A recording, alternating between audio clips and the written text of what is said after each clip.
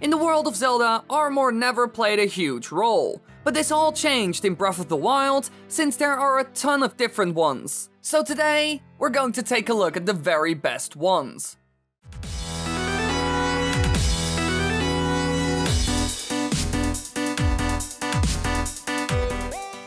Number 5. Alright everybody, before we start this video, I just want to say that this upcoming Saturday, I'll be doing an 8 hour long live stream for hitting 100k on YouTube. We will start at 8pm CAT, and the link to the Twitch is on the screen right now and in the description down below. So be sure to follow me there, and be sure to be at the stream, it's going to be a lot of fun.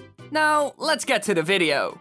Armor designed for stealth, passed down through the Sheikah tribe. The special fabric suppressed the rustling of clothes even when moving quickly. Yes, I'm talking about the Sheikah armor of course, the set that's used by the best assassins in the land of Hyrule. Now what's cool about this armor is the overall design. The look for the Sheikah themselves and the village they live in are heavily inspired by Japanese culture. And you can also see this in their armor, it just screams Japan, and it looks really good in my opinion. Besides that, it looks a lot like Sheik's armor from Ocarina of Time, which is a nice touch, since that character is a fan favorite after all. The armor also has a great stealth bonus, which can be really handy in certain situations, like sneaking up to a boss so you can take him out in one go.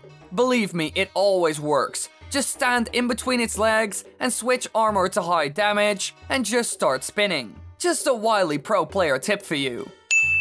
Not that I'm a real pro, but uh, I do my best. Number 4. This shirt is sold at the Gerudo Secret Club. It glows with a strange pattern in the dark due to a dye made from crushed luminous stones. The Radiant Armor, one of the more bright and colorful armor sets in the entire game, and it has a certain vibe to it. This reminds me a lot of Mexican wrestlers. However, without the music of course. That's just overkill. But still, the design is very special and looks especially good in the dark, and that's also when it's most useful. Since in the night, you can hang out with your best friends, all the skeleton enemies. Except the Hinox one. He can see through your disguise, surprisingly enough. But overall, this item is really useful, because the undead enemies are extremely annoying when you're traveling at night, and this set solves that entire problem. Another bonus of this armor is the fact that you get an 80% damage bonus on bone weapons. This way, they can be very, very strong. And it's a great way of getting a lot of power out of the weak bone weapons, which are always laying around. Number 3. Armor once favored by an ancient warlike tribe from the Faron region. The war paint bolsters your fighting spirit and raises your attack power. The barbarian armor has to be one of the best fighting sets in the game. It makes you do more damage in general and also makes your charged attacks cost less.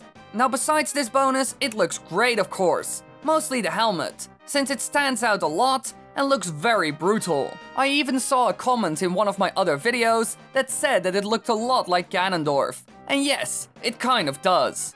Another thing I like about this set is the mystery behind it, since we have no idea who this ancient warlike tribe was. I even made a complete video about it. I will link it in the upper right corner. This set also gives Link an interesting look that we have never seen before in any other Zelda game. Mostly the war paint looks good, it adds some character. And getting it is quite a challenge, since you have to go through a whole labyrinth. Multiple even. But the reward is oh so good. Number 2.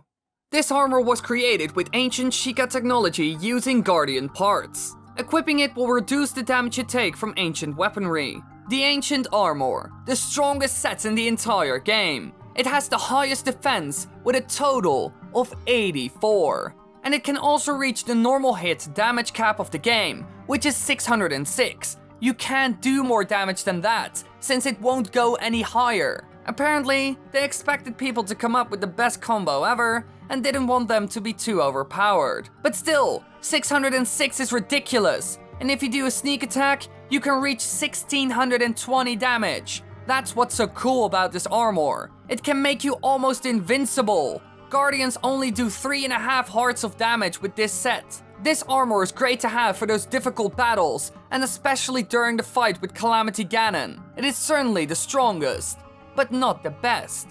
Number 1. The Fierce Deity, a god from another world named Termina. This armor will grant you more power. It can be randomly obtained from the treasure chest summoned by using the Amiibo rune with the Link Majora's Mask Amiibo of the Legend of Zelda 30th Anniversary series. Now this armor is of course a reference to the Zelda game Majora's Mask, and it looks the exact same as in that game. Now if you watch my videos more often, then you know why I chose this one. This is one of my favorite characters from my favorite game. And in Breath of the Wild, you can finally get the armor and run around in it. And the bonus is also really good. Besides that, the sword is also in the game. Even the description is amazing. It says, a peculiar greatsword allegedly used by a hero from a world in which the moon threatened to fall. It slashes wildly in battle, as if possessed by a fierce deity. This sword with the armor makes for a great combo. It makes you really feel like the mighty fierce deity. However, it's a bit lame that you have to buy a dumb amiibo to get it.